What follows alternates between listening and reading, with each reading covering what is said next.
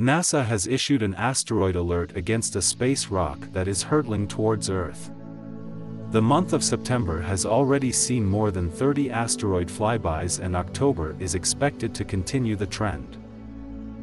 According to NASA, a massive asteroid is moving towards the Earth at a very high speed and is expected to make its closest approach to the planet on October 2, 2022.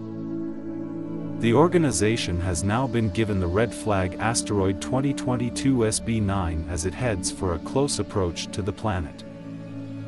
According to NASA, asteroid 2022 SB9 is already on its way to the planet, traveling at a dizzying speed of 32,400 km per hour.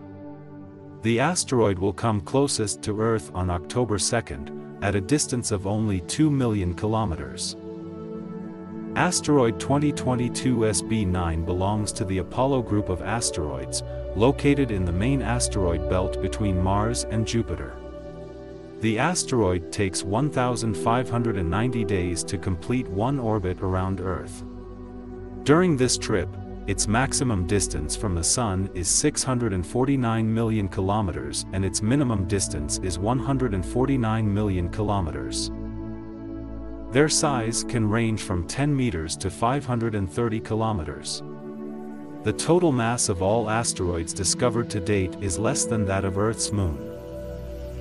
NASA also has a new impact monitoring system in place which uses an algorithm called SentryLL to calculate the impact risk of near-Earth objects. NASA can track the orbital path of the asteroid using this infrared data and can even predict its orbit years into the future.